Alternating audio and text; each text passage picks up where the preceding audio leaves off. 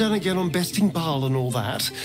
It was very twee. Especially the part where that poor excuse for a skeleton waved his magic wand and made it all better.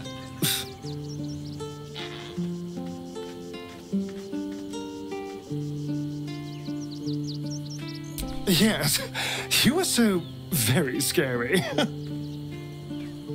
I knew you had that sweet heart all along. I was alarmed by you sometimes, scandalized even.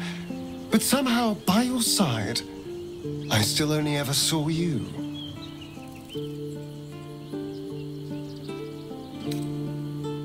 Yes, my treasure.